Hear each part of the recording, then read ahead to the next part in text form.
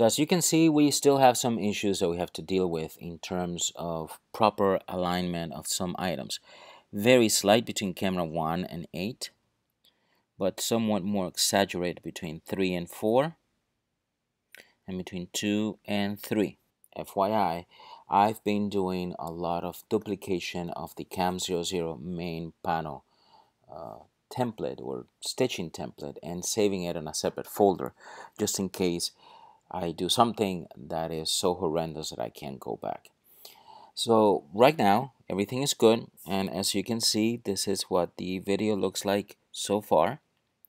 So now we are going to go ahead and try to fix as much as possible and as you can see the table here looks really good the table here looks really good where we're going to run into an issue is with the chair so we're going to go into the masking mode and you don't see the lines it's because you're not in what is called the preview mode press it and it will show you where the different shots or what portions of the different clips have been used in order to build the entire panel or panoramic view. And we have the issue here. We had identified camera 3 as having a problem while camera 4 and camera 2 were pretty good.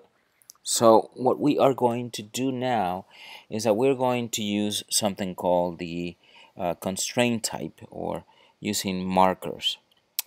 The way that these markers work is kind of opposite of what you will be used to if you were working on Photoshop and you were using the eraser or something along those lines. In this case, the green markers or adding the markers will be stuff that we want to keep. The red markers will be stuff that we want to remove.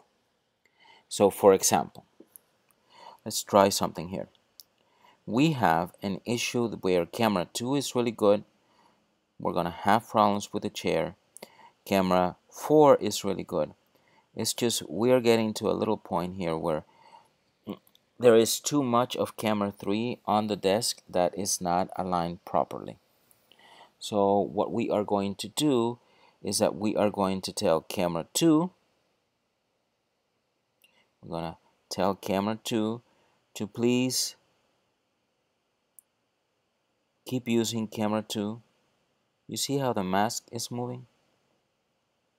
And you can move it alongside. And remember the chair is gonna be an issue so there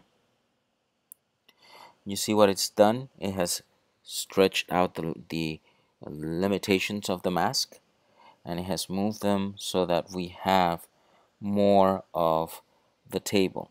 Now we have an issue here. Let's beware. Now, camera 4,